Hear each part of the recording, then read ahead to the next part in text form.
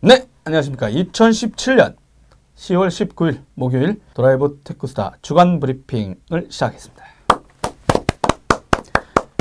네, 오늘도 저와 함께 방송을 해주실 분은 정성 기자입니다. 안녕하세요. 정우성. 네, 아, 지금 물 드세요. 네, 여러분 죄송합니다. 물을 좀 들고 정신을 좀 차리겠습니다. 정우성 기자로 말씀드릴 것 같으면 인텔 퀴즈에서 2000년 초 네, 당당히 한국 대표로 선발 싱가포르 대회에 나서 1등. 네, 그러고 나서 그 대회는 사라졌습니다. 그래서 영어는 챔피언을 불리고 있죠. 네, 그러면 첫 번째 소식부터 발표해 보겠습니다. 네. 여러분 진짜 브라보. 감탄 브라보. 이 브라보. 소식을 듣고 나서 뭐, 야 진짜 감옥에 있어도 아무 문제 없구나. 그렇죠. 어, 이러면 안 돼요. 우리 우리 걱정할 걱정할 분은 아니, 따로 아니라, 따른 것 와. 같아요. 예. 진짜 삼성전자가 말이죠. 최고죠. 사상 최 3분기 2017년 3분기 실적 매출 매출을 얘기했는데 62조. 얼 마요? 매출 3분기 매출 62조, 영업이익이 14조 5천억.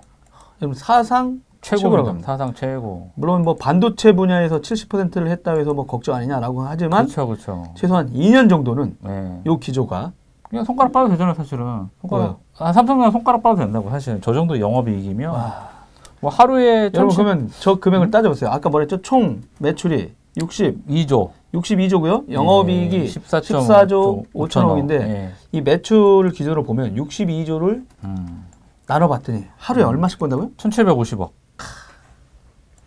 근데 이거 1750원이 아니고 1750억. 여러분 원이 아닙니다. 억이, 억이에요, 억. 억이 억입니다. 1700? 750억. 50억 원. 네. 와 이게 글로벌하게도 어마무시한 그렇죠. 능력이죠. F F를 제꼈으니까 와. 애플만도 제꼈던 상황이니까 뭐 메모리는 근데 지금 삼성이나 이런 데들이 지금 플래시 메모리 쪽에 투자를 하고 있거든요. 네네. 메모리 증상 공산 이 게 별로 없어요. 증설 계획이 없어서 얼마 전에 뭐 도시바 해킹설도 있던데. 아, 그쵸. 랜섬웨어 걸렸다고. 아 우와! 아주 그냥 어, 장난 아닙니다. 그래서 어 정말 오히려 그나마 공급받은 회사에서 음, 갑자기 음, 음. 랜섬웨어. 어 혹시 어 음모론이지만 어? 맞아요. 중국 쪽에서 화나가지고 저 새끼 해킹? 우리 안 판다는데? 도면이라도 털어봐. 아니야 그렇게 하면 아, 잡혀간다니까. 그런가요? 어? 아 그런 누군지 모르겠지만 진짜 네. 와 도시바 쪽도 그런 루머가 돌면서 또 막 메모리 시장에 대한 어떤 그 지배력이라든가 맞아요. 이 기대감들은 더 네. 높아지고 있는 상황이잖아요. 그러니까 야 대단한 대단합니다 진짜. 그래서 간단히 좀 브리핑 해 주세요. 예, 그- 예, 그래서 일단은 최고의 실적을 냈고 그래서 또 뭐 삼성전자 부- 사업 부분별로 또 있잖아요. 근데 뭐 이제 보통 세 개 정도 돼 있죠. 그렇죠 모바일 사업부 쪽 이제 IM이라 그래서 이제 IM 쪽도 이제 어, 어 노트 7 단종 사태 겪기 전까지는 한 10조 정도 됐거든요. 영업 이익이 10조인데 이제 어, 올해는 한 3분기는 한 3조 정도. 그래서 지금 상반기까지 6조 3,900억 정도의 영업이익을 올렸거든요. 그래서 네. 어, 3분기까지 하게 되면 9조 어, 중반이니까 이제 그 전에 노트 7 사태 발생하기 전까지 어떤 영업이익을 거의 따라잡은 상황인 건데 모바일 사업부에서 엄청나게 잘 벌어가지고 큰소리 그쵸. 쳐가지고 저 반도체 사업부 천재들을 개무시했었잖아요. 엄청 무시했죠. 이러면 안 되는구나. 네. 여튼 또- 또 네. 요즘 반도체 분들이 그러진 않잖아요. 아, 그분들은 그렇죠. 예. 또 또 반도체 분들이 또 그런 아래안 같은 예. 또 어. 어쨌든 좀 되게 부러운 상황인데 이런 이런 상황인데 왜 이렇게 어 주식도 엄청 올랐겠네요. 그러면 이제 떨어졌네요. 우리나라는 진짜 어, 떨어졌어요? 예, 264만 9천 원. 뭐라고요? 한 260, 주가 얼마? 264만 9천 원 되겠습니다. 아, 네. 네. 열 주라도 선물해주는 부모가 있으면 좋겠군요. 열 주라도. 열 그냥 주도 저희 10만 원 될 때 샀으면 됐는데 IF 때. 내용은 뭐 죽은 자식 그럴 만족이죠. 지금 뭐 그런 얘기를 뭐하러 해? 그렇죠. 세럼도 전 있는데. 제가 항상 얘기하잖아요. 네. 여러분, 전 네이버 담당 기자였습니다. 네. 주식을 하지 않았습니다. 하지 말라 그랬어요, 그건 진짜. 네, 그죠? 기자윤리로. 네. 근데 지금은 좀 바뀐 것 같아요. 그래요? 기자들이 다 주식하나요? 어, 기본이죠. 예. 어쨌든 그래서 디스플레이는 일단 사업부 DP, 디, 라 그래서 디스플레이 파트가 있는데 여기는 이제 3분기 영업이익이 8천억에서 1조 원 정도로 이제 추정이 되고요. 네. 이게 2분기가 되게 실적이 좋았거든요. 2분기에 1조 7,100원이었는데 네. 반토막 수준이었던 거고 이게 왜냐하면 어, 이제 분석하기로는 증권가에서 분석하기로는 네. iPhone X가 일단 출하 지연 영향도 있을 거고 음. 그리고 LCD 패널 가격이 좀 되게 많이 하락을 했어요. 중국 아. 쪽에서 엄청 양산해서 찍어내고 있기 때문에 음. 거기에 대한 영향을 좀 많이 클 거다. 그래서 네네. 어, 앞으로도 어, TV용 TV 어, 어쨌든 중국 쪽에서 되게 그 LCD, LCD 뭐 근데 TV 가격들은 안 떨어져 왜? 떨어졌어요. 많이 떨어졌어요? 예, OLED랑 이런 좀 많이 음. 떨어지고 있기 때문에 좀 기대가 되고 있고. 아 만약 에 사시려면 TV 같은 거 사시려면 이때도 잘 보시면 되겠네요. 디스플레이 아, TV를 때 사실 거면은 연말에 사야죠. 예. 아또 떨이가 예. 있으니까요. 아니 아니. 축제? Black Friday. 그러니까 예. Black Friday 때 상상도 못한 가격으로 팔기 때문에 음, 그때 뭐, 노려보면 좋을 것 같고요. 그렇죠. 예. 그렇게 되고 뭐 생활가전은 뭐 생활가전은 저번에 말씀드린 LG전자가 되게 선방해서 네네. 잘했다고 했는데 뭐 3분기 영업이익 한 3천억 정도 되는 거죠. 음. 예. 그래서 특별히 뭐, 뭐 CE는 어차피 생활가전 쪽은 삼성이 크게 메리트가 뭐 있는 부분은 아닌데 네. 뭐 작년에 했던 거에 비해서 한 절반 정도 된 거라서 음, 애널리스트들은 좀 음, 별로다 뭐 이렇게 음. 얘기를 가전 하고 쪽이 있어요. 점점 쪼그라들고 있는 건가요? 음, 전체 규모로 보면. 그렇죠, 그렇죠, 그렇죠. 아, 예. 어쨌든 뭐 근데 반도- 이제 되게 이- 이상하게 반도체가 이제 전체적으로 70%잘 하고 그렇죠, 그렇죠. 완전히 성과가 되게 좋은데? 네, 네. 이게 고민이 음, 음, 음. 이날 실제 발표를 하면서 네, 네. 권오현 네. 그 삼성전자 이제 부회장이신데 이분이 이제 진짜 입지전적이래요. 삼성전자 삼성 디스플레이 대표이사 부회장이고 네, 네. 전기공학 전공하시고 스탠포드 대에서 이제 박사 취득. 근데 이제 이분이 갑자기 내년에 그만두겠다. 이러면서 이제 사퇴 선언을 했어요. 그 후배 경영진들이 어 이제 해도 될 때다. 이랬는데 음, 음, 음. 어떻게 보면 반도체를 이끌어오고 그리고 또 최근에 뭐 소송이라든가 이런 이슈 때문에 두 분들도 다 지금은 없는 거잖아요. 네, 네, 네. 그러면은 지금 삼성전자를 막 이끌어갈 수 있는 전체 중심을 잡아줄 만한 사람이 없어요. 그 내부 승진 얘기 계속 음, 나오고 나오지만? 있고요. 예, 나, 내부 승진 나오고 있고 그 다음에 일단은 좀 뭐라 그럴까? 좀 세대 교체. 그러니까 이주영 부회장 중심으로 세대 교체를 하기 위해서 뭐 이런 내용들이 있는데 뭐 삼성전자가 뭐 저기 65세 전에 네. 대략 그쯤 해가지고 이제 보통 부회장들이 이제 그만두시는 그쵸, 있었다는 그쵸, 얘기도 그쵸. 나오긴 네, 해서 네, 네. 뭐 이례적인 건 아니지만 그래도 시기가 시국이니만큼 네.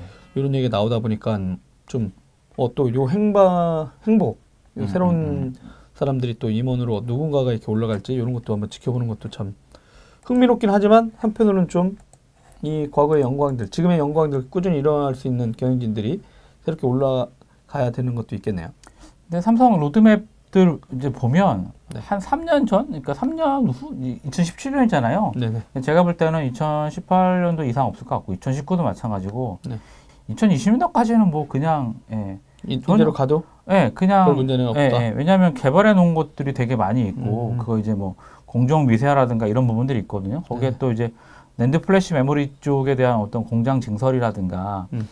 또 그 수요들이 되게 폭증하고 있기 때문에 네. 어, 뭐 모바일 쪽은 또 열심히 또 잘 나가고 있으니까 음. 특별히 문제는 없을 것 같아요. 제가 봤을 때는 뭐 알겠습니다. 인재 여튼- 인재 인재 기업이잖아요. 인재 기업. 네 여튼 3분기 2017년 3분기 매출 음. 62조 달성 다시 한번 축하드리면서 축하드립니다. 어, 두 번째 소식은요 또 삼성전자 얘기입니다. 10월 19일 그렇죠. 개발자 네. 컨퍼런스. 네, 미국 샌프란시스코 모스코니 센터에서 삼성 Developer Conference 2017을 진행합니다. 어, 근데 예전에도 제가 이제 한국 진짜 무슨 제품을 발표하거나 뭐 할 때마다 진짜 개발자들을 사로잡으려면 정면 승부해야 된다. 샌프란시스코에서 행사를 해야 된다. 왜냐면 그쪽이 진짜 버글버글 거리고 그렇죠. 그 친구들 아니면 관심이 없거든요. 그러니까 있는 곳에 가라. 자꾸 여기 아니면 실제 서울에서 하거나 수원에 하면서 전 세계 개발자를 초대해 주는 것도 괜찮다 했는데 여튼지 간에 지금 했는데 여기서 재미난 것들이 좀 발표됐습니다. 그걸 잠깐만 브리핑해 드릴게요. Bixby 2.0 업그레이드 됐죠. 네. 삼성 개발자 컨퍼런스 2017에서 어, Bixby 2.0하고 요걸 활용할 수 있는 소프트웨어 SDK. 개발 도구 네, SDK가 SDK. 소개됐습니다. 그리고 또 재미난 게 하나 있었는데요.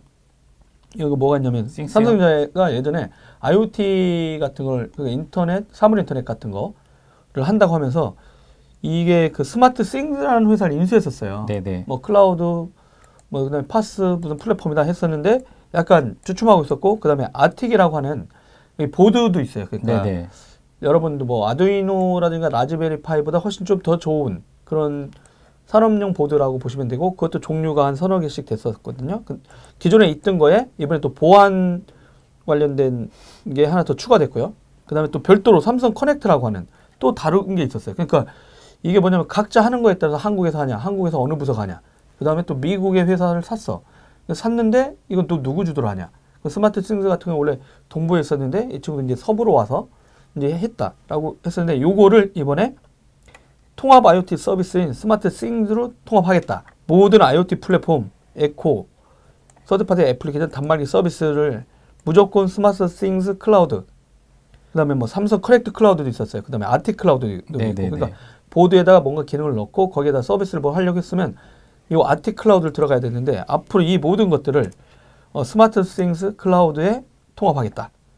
이걸 API를 이용해서 모든 걸 연결할 수 있도록 하겠다 해가지고 이제 정리를 했습니다. 미국에 그 현장에 가 있는 매경 손재권 기자하고 네. 그다음에 정지훈 교수가 그 둘이 대담 했죠? 했었는데 네, 제가 네. 또 물어봤어요. 근데 확인되지는 않았는데 뭐가 이 궁금한 사항이었냐면 이 통합 IoT 서비스는 이 SmartThings라는 게 왜 생각보다 치고 못 나갔나의 내막을 예전에 취재하다 들었는데 이게 단순한 PaaS가 아니에요.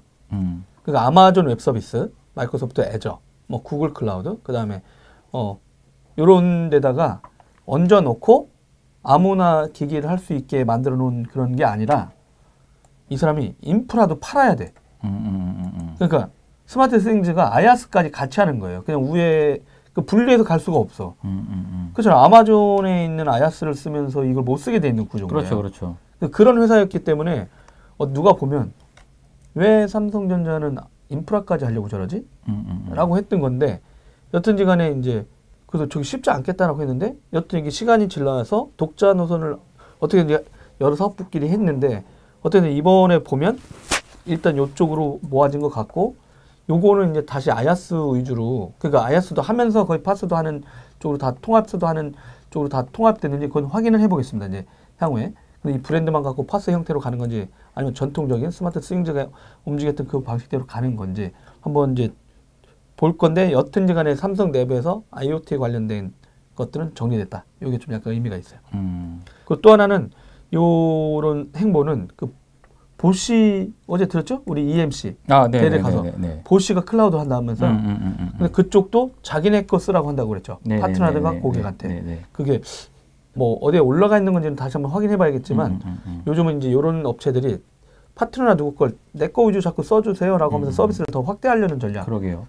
그런 것도 있으니까 음, 음, 음. 이런 산업계에서는 이렇게 움직이는 행보를 지켜보시는 것도 좀 재밌지 않을까 하는 생각이 듭니다. 그리고 어, 아틱 관련된 건 나중에 패스. 네, 저희들이 뭔가 새로운 영상으로 찾아갈 수 있도록 한번 좀 얘기해 보겠고요. 그리고 이 사람들이 어 Project Ambience라는 컨셉도 시연했대요.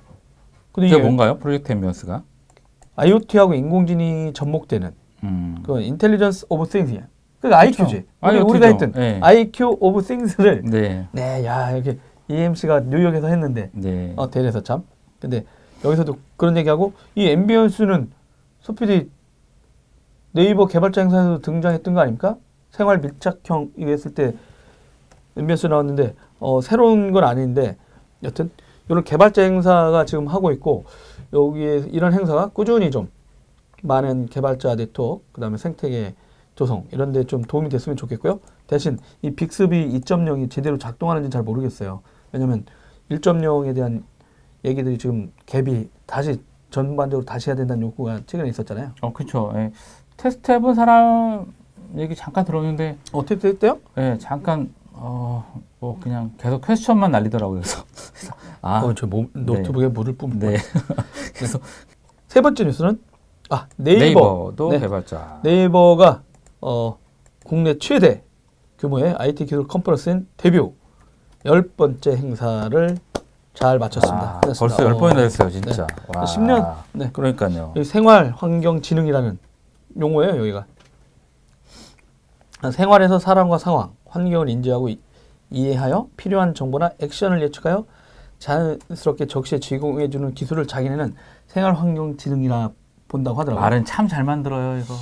네, 그래서 실제는 거기 행사 송창현 CTO께서 네이버는 지난 10년간 데뷔 행사를 통해 검색, AI 등 다양한 분야의 최신 기술 트렌드와 개발 노하우를 공유하며 IT 생태계 활성에 기여하고자 노력해왔다. 올해 컨퍼런스에서도 기술의 현재와 미래를 조망하는 동시에 지식과 경험을 공유하며 함께 동반 성장해 나가는 기회가 되기를 바란다라고 밝혔습니다.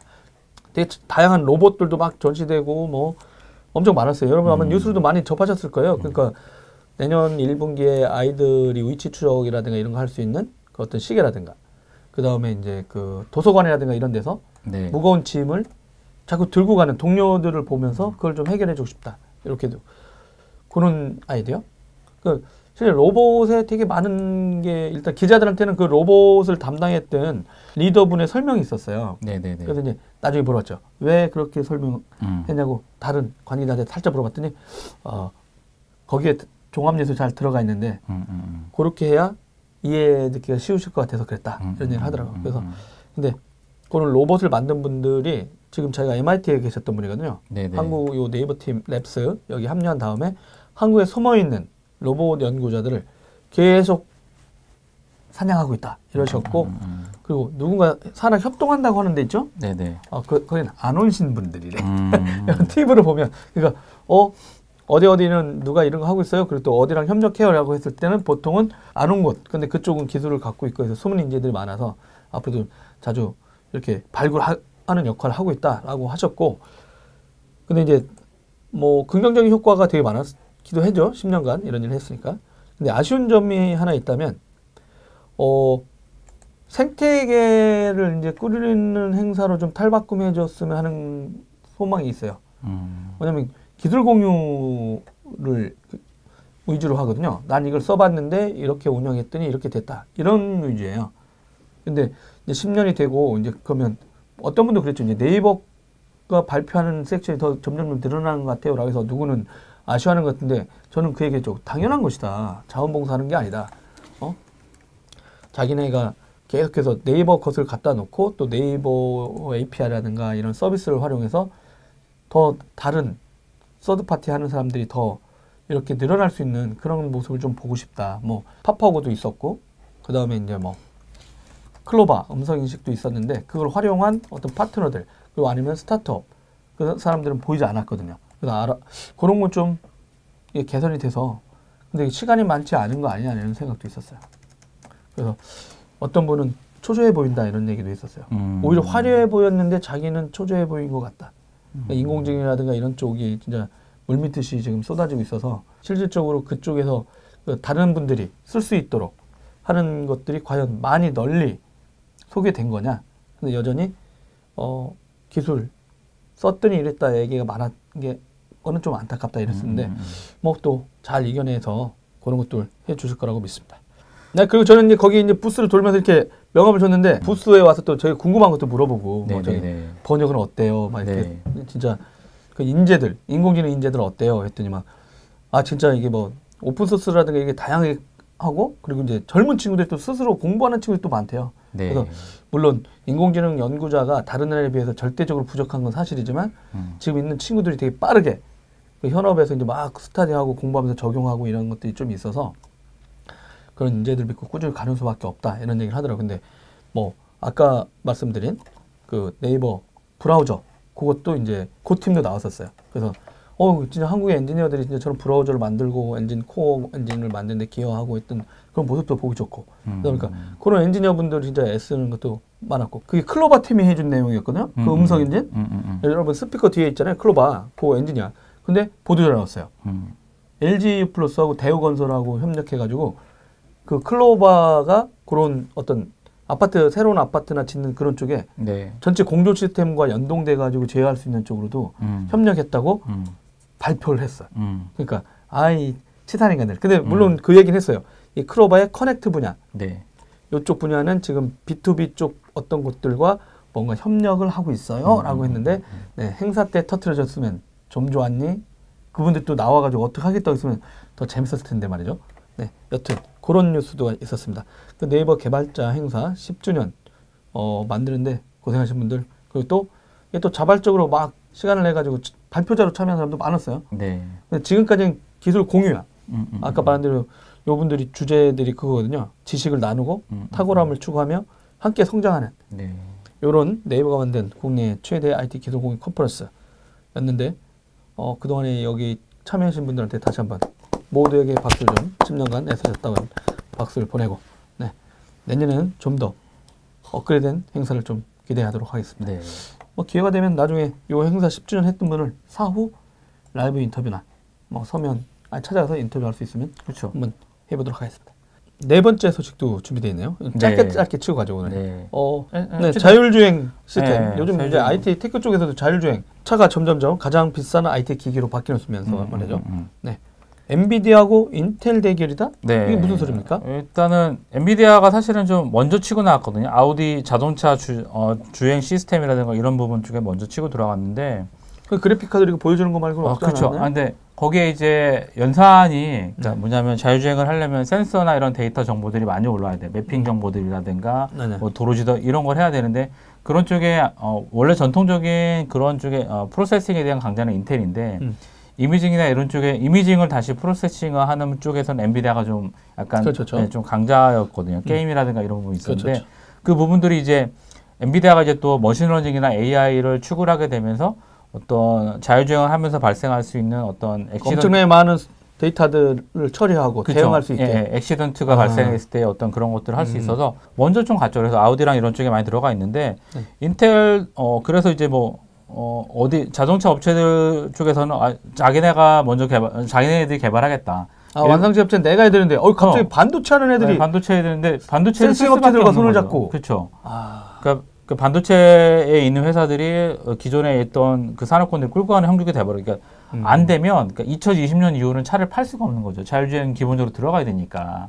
어차피 테크 기술이니까. 네, 테크 기술이 들어가야 아. 되니까 지금도 되게 많이 들어가고 있는 상황이거든요. 그리고 뭐 컨티넨탈이라든가 보쉬 같은 이 회사들도 요즘 그렇죠, 그렇죠. 부품 이런 회사들도 자율주행 관련된 예, 소프트웨어도 많이 살 뿐더러 그럼 지네 자기네들 스스로가 sensing 기업이다. 네, 이제는 예, 그러니까 물리적인 이런 어떤 부품을 만들었던 음. 회사들 맞는데 음, 갑자기 거기에다가 tagging을 하고 음, 뭘 음. 하면서 우리 sensing 회사로 탈바꿈 중이야 이러니까 어이구 부품을 만드는 애들이 다 탈바꿈하면 sensing 회사로. 정작 네. 그걸 갖다가 만들려는 차는 자연스럽게 테크 기기가 되는 거 아닙니까? 그렇죠, 그렇죠. 아, 그게 근데 거기에서 이제 또 핵심 부품 예. 업체들과의 연동. 음, 음, 음. 그럼 어디에 줄 서야 되느냐 그 싸움인가요? 어, 일단 먼저는 이제 그 엔비디아가 아까 마- 처음 음. 말씀드린 대로 AI랑 머신러닝 그래픽 쪽에 그래픽 visionary 쪽에 좀 많이. 어, 되어 있는 부분이라서 보쉬가 있고 음. 그 독일의 이제 미션 회사 ZF가 있고 음. 폭스바겐, 다임러 음. 벤츠, 볼보 이렇게 엔비디아 쪽에 붙어 있잖아요. 아, 그리고 이제 그 어, 일본 회사들은 여기도 이제 또 자기네가 워낙 그 완성차 업체가 되게 많고 그렇죠, 그렇죠. 또 자기네에 대한 기- 있잖아요. 어, 그. 기술에 대한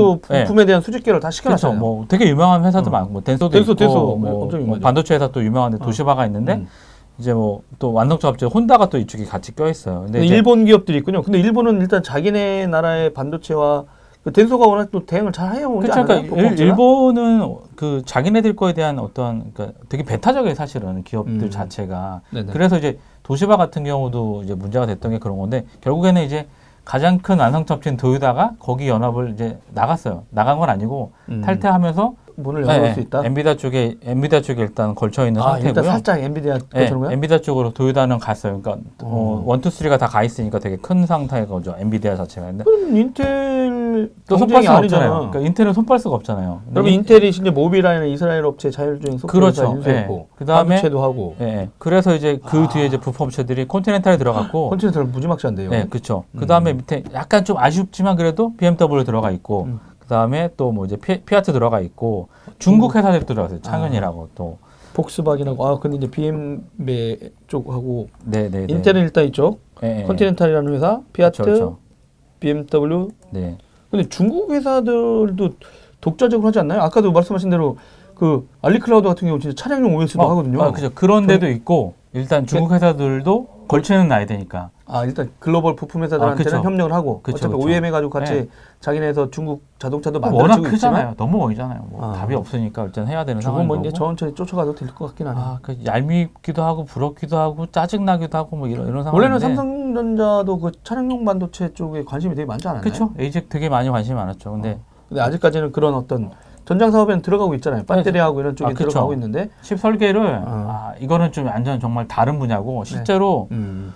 설계를 해서 들어간다고 치면 한 5년 이상 격차가 나는 분야라서 쉽지가 않다. 리소스 들어가는 어이구, 부분이나 이런. 부분이 있으니까. 그럼 저 끊어놓질 않았네. 네. 아 5년이나 걸려요? 네. 라고 치면 한 5년 이상 격차가 나는 분야라서 쉽지가 않다.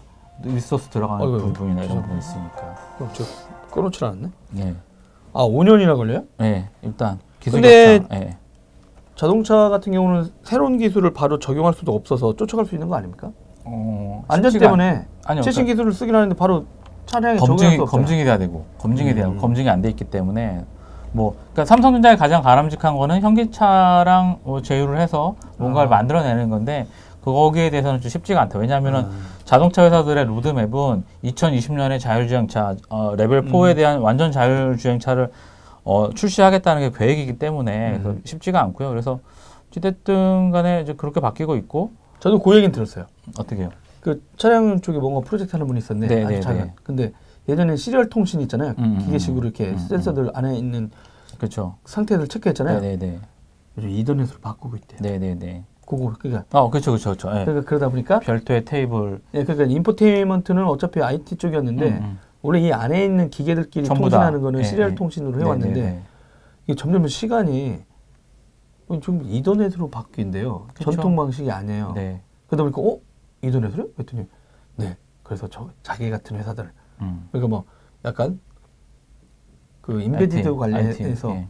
이런 어, 칩 관련된 음, 음. 통신 같은 걸 했던 업체 입장에서 보면 그 안에 기회가 생기는 거야. 음, 그렇죠. 아, 그러니까 이더넷으로 이제 조회장 역할을 예, 예, 했으니까 예. 이제 자기네가 어차피 음, 음. 그런 걸 미세하게 프로그램했던 사람들이 통신 영역을 미세하게 네, 네. 프로그램했던 분들한테 그런 네. 기회가 생기는 거 있다는 얘기 들었어요. 그러니까 진짜 이런 건 큰 변화이고 그것도 지금 되게 어, 큰 그렇죠. 물결인 예. 것 같긴 해요. 그래서 일단 콘티넨탈 같은 경우는 뭐 센서, 레이더, 뭐 이런 라이더, 레이더나 LiDAR, LiDAR 전자거리 측정하는 장치가 LiDAR라고 네네. 그러는데 뭐 생산은 세계 number one이고요. 뭐 아. 인- 인텔이 또 이제 어, 이제 자랑하고 싶은 거는 이제 콘티넨탈이 갖고 있는 기술력이거든요. 네. 콘티넨탈의 그런 기술력을 또 기반으로 하고 있고 인텔 인텔이 얘기하는 자율주행차들이 발, 얘기하는 자율주행차들이 발생하는 데이터가 하루에 4테라바이트가 발생한대요. 4테라바이트. 엄청난 네. 거죠, 이게. IoT 데이터니까. 그러니까 일종의 사물 인터넷 기기인데 어, 움직이는 데이터 센터라고 생각을 하는 거죠.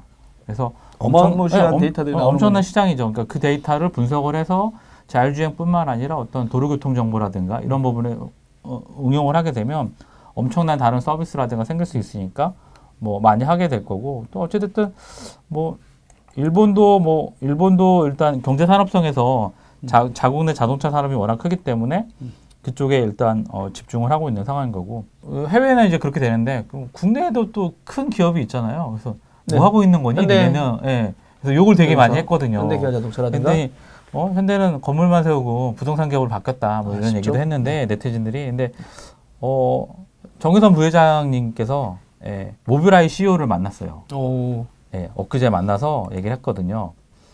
그래서 어디로 갈까요? 결국에는 예, 인텔 진영에 합류하는 걸로라고 생각했는데 네. 또 현대 쪽에서는 인텔만 아니라 뭐 양쪽하겠다. 엔비디아 예, 양쪽하겠다. 양다리 정책을 또 한다고 그래서 음. 되게 재밌을 것 같고요. 어찌됐든 좀 잘했으면 좋겠어요.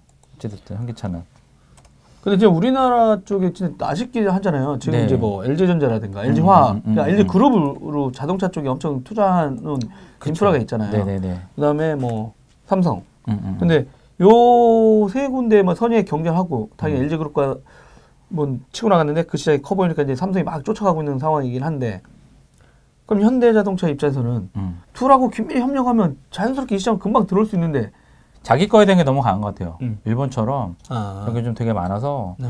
어찌됐든 또 모빌아이 쪽이든 인텔이든 엔비디아 쪽이든 어찌됐든 어 2000 우리가 어 우리 소비자 입장에서 보면 2019년, 2020년에는 레벨 4 완벽한 자율주행차를 만날 수 있다. 네. 라는 게좀 어, 좋은 상 좋은 상태인 것 같아요. 2020년이면 얼마 안 남았잖아요. 여튼 자동차 쪽 네, 있고 네. 이제 어, 마지막 뉴스인가요? 네, 알파고 하죠, 알파고. 어, 어 알파고 네, 제로. 알파 고 제로가 나왔답니다. 제로, 그러니까 제로. 이세돌 구단하고 덧등은 알파고 알파고였고요. 그냥 알파고. 걔가 그냥 이게 애칭으로 알파고리라고 불렸나 봐요. 알파고리, 아, 아. 알파고리. 그러다가 어, 알파고 2가 나왔었죠. 네. 그래서 이 친구는 중국을 중국하고 네, 네. 바둑을 뒀죠. 네. 올해 나왔는데 네. 근데 그게 끝난 줄 알았더니 알파고 제로라고 나와서 네. 이 논문이 실제는 오늘 새벽인가? 네, 네. 그 그러니까 알파고 제로에서 학습시킨 내용에 대해서 네이처에 실렸죠. 예, 네이처에 네. 실렸고 요 관련 그 구글 딥마인드 그 데미스 허사비스, 하사비스. 네, 네. 이쪽 팀에서 딥마인드. 논문을 공개했어요. 네. 아무 지식 없이 그냥 학습, 했는데 신경망. 그러니까 알파고 리 첫 네. 번째, 그 다음에 알파고 two. 2를 아주 가볍게 100대 0으로 네, 100대요. 아, 두 번째 뭐- 번을? 예. 아, 대박인 것 어. 신의 경제에 올랐다. 아. 정말 이세돌 구단이 대단한 게 네. 유일한 인류. 도기자님 아니, 얘기한 그- 유일한 인류. 진짜 그 말은 내가 했는데 사람들이 네. 안 믿, 진짜 나를 이렇게 칭송해 줘야 되는 거 아닙니까? 저는 그때 이세돌 저 섰을 때 사람들이 충격했을 때 예. 아마 이세돌 구단은 인공지능 바둑을 유일하게 이긴 마지막 인류로 기록될 것이다 했는데 네. 멋진 얘기를 했는데 예. 저 새끼 미쳤나 했는데 진짜 그렇게 됐잖아요. 네. 어 진짜 동조해 주는 사람도 없고 이 치사한 인간들 그렇지만 뭐 어떻겠습니까? 어 보이는 건 얘기해야 되는데 네. 어 근데 진짜 이게 어떻게 된 거야? 이게 일단 뭐 신경망이라 그래서 네. 아무런 지식을 주지 않고 프로그래밍 상으로 해서 그냥 자기가 스스로 학습을 해서 이제 셀프 바둑을 둔 거죠. 바둑판만 놓고 두고 하는 뭐 그런 아 기본 규칙만 알려주고 그렇죠, 그렇죠. 예전에는요 첫 번째는 이세돌 구단하고 했을 때 기보를 다 학습시켰어요. 기보를 보급. machine learning을 네, 시켜놓은 뭐, 상태인 네, 거고. 다 했었죠. 네 네네. 근데 이번에는 아예 그것도 예, 기- 기보를 전혀 보지 않고 음, 음, 음. 그냥 대신 두는 어떤 약간 규칙 같은 게 있는 거죠. 그 게임의 규칙만 딱 그렇죠, 놓고 그렇죠. 네가 알아서 해봐 한 거죠. 네네. 와. 그러니까 이 학습 방식을 일반적으로 이제 뭐냐면 강화 학습 방식이라고 그러는데요. 그래서 네. 어, 뇌에서 실제로 작동하는 방식, 그러니까 neural 음. neural technology 뭐 이런 식으로 얘기하는데 똑같이 이제 인텔에서 얘기한 뭐 인공지능 신경망 프로세서 뭐 그런 마- 비슷한 얘기일 텐데 개 개한테 먹이를 주면서 앉아라고 하는 이런 걸 많이 시키잖아요. 저희가 음. 뭐 손 내놔 뭐 이렇게 네네. 왼손 오른손 이러면서 이제 먹을 거 주면서 하는데 그런 식으로 이제 학습이 되는 거죠. 그, 그렇게 해서 어, 작년 3월에 이제 구글 딥마인드 챌린지에서 이세돌 구단하고 4대 1로 이긴 버전, 알파고 리 버전이랑 이제 비교를 하면은 네. 알파고 제로는 독학한 지 36시간 만에 이 버전을 넘어섰고요. 예. 그리고 뭐 조건은 똑같이 했어요. 그러니까 뭐 어, 대국 제한 시간은 2시간이고 어 근데 이제 똑같이 대결한 결과 100전 100승 무패. 그리고 알파고 제로가 한 수에 어그 한 수를 주는데 걸렸던 시간이 0.4초죠. 정말 속기 바둑이죠. 엄청나게. 그러니까 음. 그, 그 바둑을 둔 판이 490만 판이래요. 어, 490만 판을 혼자 두면서 연구한 결과로 100점 100승. 한 번도 지지 않았다는 네네.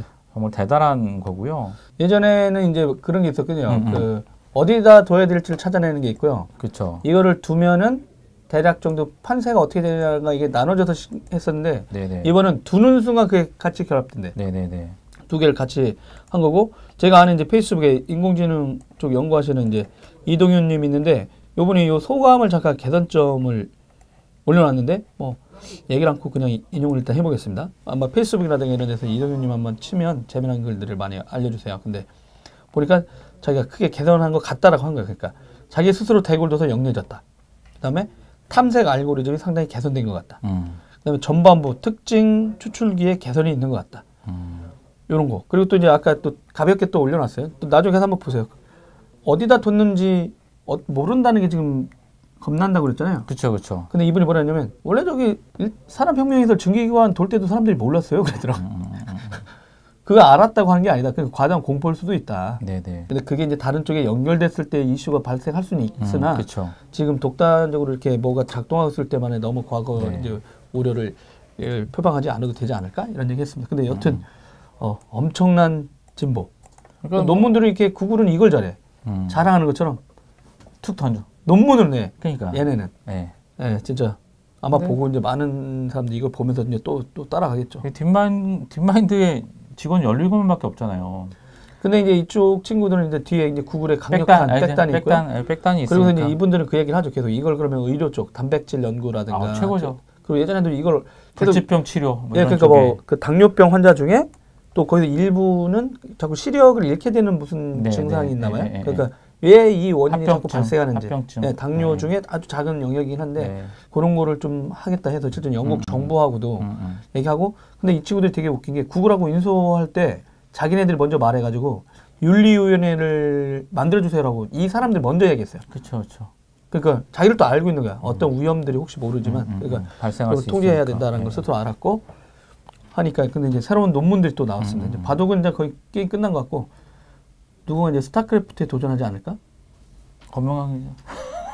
어 그러니까 어두움이잖아요. 그 이제 규칙이라고 하는 거는 딱 어두운 상태잖아요. 그쵸, 그쵸. 그러니까 만약에, 그러니까 그때는. 저쪽도 모르는 거고 아, 어디에 있는지도 모르고. 제가 봤을 때는 알파고 제로를 스타크래프트 하면 게임이 안 되는 게 아니라 정말, 정말 사람이 게임이 안 될 것 같아요. 그- 그때는, 진짜? 예, 게임. 저글링 러쉬로 바로 아, 그쵸. 몇초 그냥 만에 게- 탁! 그냥 끝. 그걸 막아낼까요? 예. 0.뭐 7대 1로 해도 될까? 예, 0.4초. 헌터 헌터 map에서 아우, 7대 1로 해도 아유, 이길까? 저는 걸겠습니다. 알파고에. 알파고 스타크래프트 때걸 것 같아요. 네. 이거 뭐 말이 안 돼요. 알파고 제로가 40일에 걸쳐서 바둑을 둔 게 2,900만 판이에요. 이거 뭐 수십 명의 사람, 아니 그러니까 수천 명, 수만 명이 아 쉽지 않죠. 여튼 뭐 기회가 되면 어떤 이런 쪽을 좀 설명해 줄 분도 저희들 한번 좀 나중에 좀 섭외를 한번 해보도록 하겠습니다. 네, 진짜 기보 한 장 안 보고도 바둑의 신이 됐다. 아 두렵기도 해 사실은. 들어오세요? 예. 왜요? 공부를 공부를 얘들이 공부를 하게 되면 네, 정말 혹성 탈출처럼 네. 예, 제가 가서 인류의 어, 진화를 막을까 말을까봐? 뭐 그러, 그렇게 되겠죠. 아니면 진짜 그때 영화에서처럼 쟤, 쟤네들은 제거해라. 음. 터미네이터처럼 뭐 이렇게 미국을 공격하면 되는 거 아닙니까? 미국을 공격하면 전쟁을 일으킬 세력들을 다 탄압시키고. 구글이라는 국가가 아닐까 싶어요. 구글이라는 네이션. 네, 네. 농담했습니다. 네. 전쟁 같은 거 일어나면 안 되겠죠. 네. 전쟁 기운이 어느 보다도 높은 이런 시기에 음. 엄중한 시기입니다. 네. 어, 네, 저희들은 항상 어, 최선을 다하고 있습니다. 네, 오늘도 통지사를 까, 안 까고 마무리 질 수는 없죠. 양념 뉴스. 네, 곁다리 뉴스 네, 되겠습니다. 곁다리 뉴스. 아, 요거 마지막에. 네. 네, 본인 확인 서비스 여러분 많이 하시죠? 저도 그럽니다. 어, 그럼 뭐 비밀번호 자주 까먹고 이렇게 하는데 또 뭐 결제하려면 또 본인 확인하고 있는데 어이가 없어요. 이동통신사들이 본인 확인 서비스로 네. 천억 원을 벌었답니다. 브라보. 어, 근데 이건 뭐 비즈니스한 건데 그걸 욕할 수 있나요? 어, 근데 이게 문제는 뭐냐면 네. 이 돈을 벌 수 있잖아요. 근데 뭐가 문제는 아니잖아요. 근데 액수가 공개돼서 사람들이 헉한 건가요? 아니면 어, 이 정도까지 많이 벌었어 이건가요? 그러니까 이제 뭐 엄살인 거죠. 그러니까 그 맨날 적자라고 하는데 실제로 적자냐 이런 거죠. 원가표를 공개하라고 했는데 아니 이통- 예, 예. 원가를 내가 계속 얘기하잖아. 원가를 공개한 통, 산업군 거의 아니, 없다니까. 영업이 원가표 말고 영업이 영업이 예 기업 기밀이라 이거죠 어. 음. 뭐 좋다 네. 이거죠 근데 이제 수수료는 정해져 있잖아요 건당 네네. 수수료 통신사가 이제 업자한테 청구하는 게 음. SK는 23원 음. KT는 30원 LG U 프로 30원이에요 그러니까 이게 오, 2013년부터 현재까지 한 989억 원이라고 이제 예, 국회의원 이제 자료가 나온 거고 아니 누적으로 천억이에요? 음 누적 천억 그건 얼마 아닌 거 아닙니까? 뭐 사실 뭐 얼마 아닐 수도 있어요. 껌값이죠. 뭐 부적금 쏘는 거에 비하면 네, 껌값인데 일단은 이게 왜, 왜 문제 저는 왜 문제라고 하냐면 음. 그 이제 이 분들이 이제 그 홈페이지 해킹 당했잖아요. KT가 네네. 거의 천만 명, 981만 명의 고객 정보 유출이 됐어요. 네. 그리고 LG도 이통 3사 대리점을 해가지고 250만 건 모두 뭐 420만 건 음. 토탈해서 유출이 됐고 근데 이분들이 낸 비용은 1억 원밖에 없어요. 정부의 처벌과 벌금이 1억 아, 원밖에 안 돼. 본인 인증을 통해서 그렇죠. 받은 거는 개인정보 인증을 많은데. 통해서 번 돈의 1%밖에 안 되는 거죠. 남는 장사 아니에요? 어찌됐든 1억 원밖에 안 되는데 이게 문제가 저는 이 법률이 이제 네네. 법률이 개정이 됐어요. 그러니까 왜냐하면 그 이통사에 대한 수단을 인터넷 쇼핑몰이나 이런 데서 번호 이동, 아 번호 주민등록 번호 수집을 본인 금지, 인증, 본인 예, 인증할 때. 그, 그 수집 이동 수단을 음. 이제 금지하게 되면서 인증을 하는데 인증을 이 통사에만 줬어요. 다른 아, 게 없는 거예요. 아, 예. 선택할 수 있게. 네. 그냥 뭐- 무난하기도 하고. 뭐, 그러니까 인증을 하는 거를 다른 방법도 있는데, 네네. 그러니까 이거는 좀, 어, 좀 문제가 있다고 생각이 되는 거고, 다른 영역으로도 확대할 필요도 있다. 예, 예. 어떻게 보면 더 저렴하게. 개인정보 대량 유출시킨 거에 대한 그래서- 어떤, 그것 때문에 개인정보 보호법이 음. 이제 개정이 된 거거든요. 네. 개정에 대한 원인을 제공하는 곳이 오히려 그거로 인해서 수익을 더 벌고 맞다. 있다. 아, 예. 좀 잘못된 거 아니냐, 이런 좀 지적을 하고 싶어요. 알겠습니다. 뭐 능력도 좋네요. 아, 그쵸. 네. 아, 오늘은 진짜 2017년 10월 19일 어, 셋째 주, 10월 셋째 주 드라이브 테크수다 주간 브리핑은 어, 이것으로 마무리 짓도록 하겠습니다. 어, 감기 예, 가을인데 이제 갑자기 추워졌습니다. 어, 감기 몸살 조심하시고요. 건강하게 또 다음 주에 만나 뵐 수 있도록 하겠습니다. 여러분 안녕. 안녕.